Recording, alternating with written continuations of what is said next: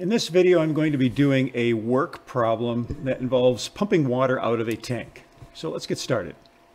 A water tank is 20 meters long with a cross section shaped like an isosceles triangle. The top of the tank is 8 meters across and has a height of 16 meters. The tank is full of water. If the tank has a spout 4 meters high on the top, find the amount of work required to pump all the water out of the tank through the spout. The density of water is 1,000 kilograms per meters cubed and use g, acceleration due to gravity, as 9.8 meters uh, per second squared. So let's start by drawing a diagram of this situation. So we have an isosceles triangle and the top of the tank is 8 meters along the top and it is 16 meters high and it is eight meters long. So the, the width that would be going back that way is 20 to the, to the back of that. And I'm just going to draw that little bit because I, I need that space. Alrighty, so what is it that we need to figure out here? Well, we know that work is the integral from a to b of a force function times dx. And so in class, I derived the, the, the variation of this formula that we can use for pumping problems. And so the variation on that formula is that work is going to be equal to the integral from A to B of the density, which is rho, times acceleration due to gravity, which is g, times the volume of, a, of the water that is being uh, pumped out, times the distance that that water has to be pumped. So that's what my integral is going to consist of. Well, rho, the density, is a constant. So rho, as we were told up here, the density of water is 1,000 kilograms per meter cubed. So that's 1,000. And acceleration due to gravity is 9.8.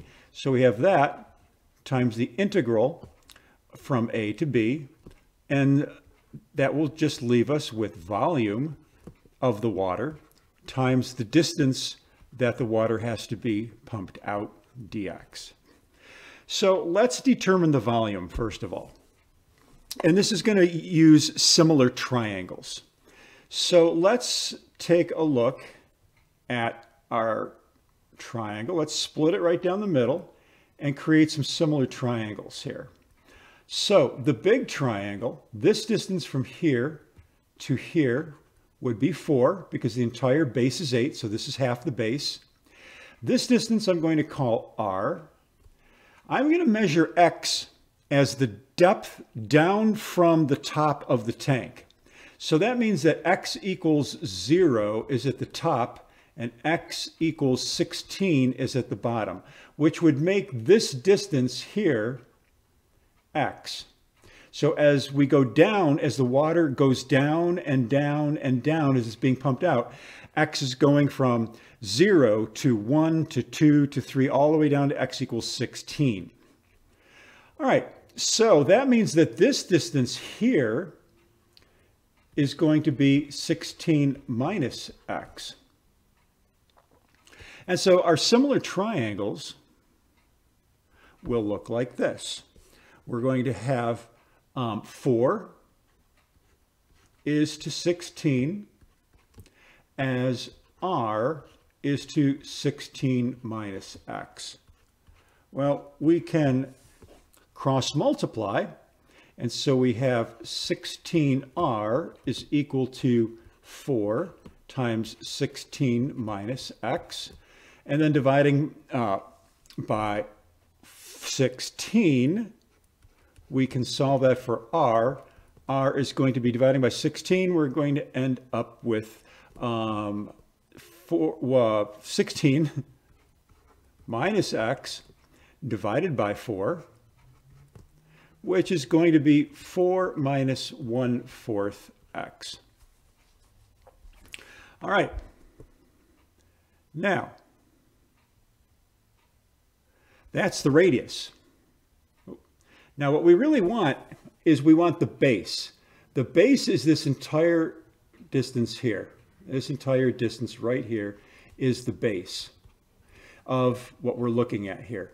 The uh, volume is going to be the cross-sectional area times the length. Well, the cross-sectional area is a uh, triangle. So that's going to be 1 half base times the height times the length. Well, the length is 10. So we have 1 half the base times the height times, oh, I'm sorry, is 20. Is 20. That is 20. That's the length back here. So 1 half times 20 is 10. So my volume simply becomes 10 times the base times the height. So the base is equal to 2 times the radius. So the base is 2 times 4 minus 1 fourth x. So the base is 8 minus 1 half x. So we have the volume is equal to 10 times 8 minus 1 half x times the height. The height is the distance that the water is being uh, pumped um, out of here. And so the height is um, the distance of 16 minus x. 16 minus x is our height. All right, so again, this, the water that is at this level right here, okay, it has a base, we calculated its base, and this distance right here is its height, and the height is 16 minus x. So that's what we want to plug in to our volume. well, that all simplifies a little bit, but what I want to do is I, I need to find the distance now. We need to go back here. We found the volume. We need to find the distance, the distance that water is being pumped. So water is being pumped from all the way down here at the bottom all the way up to the top. So this distance, this is x equals 0, this is x equals 16. So the water at the bottom is being pumped up a distance of 16 plus the distance of the spout. Let's not forget the spout. Remember that there is a spout up here. I didn't draw it, but the spout is 4. So from the top of the tank, we got a spout and it's going out the spout. So the distance is going to be the distance uh, x, remember, so the distance x is the distance that we're measuring vertically here, plus 4. So distance is x plus 4. So now our work is going to be equal to our um, 9.8 times 1,000 that's the density times the integral, I mean, times uh, the uh, acceleration due to gravity, times um, the integral from a to b. Now, a to b are the bounds on x.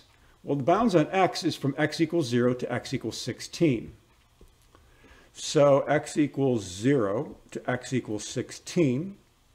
And then we want our volume, which is 10 times 8 minus 1 half x times 16 minus x, and then the distance, which is x plus 4 dx.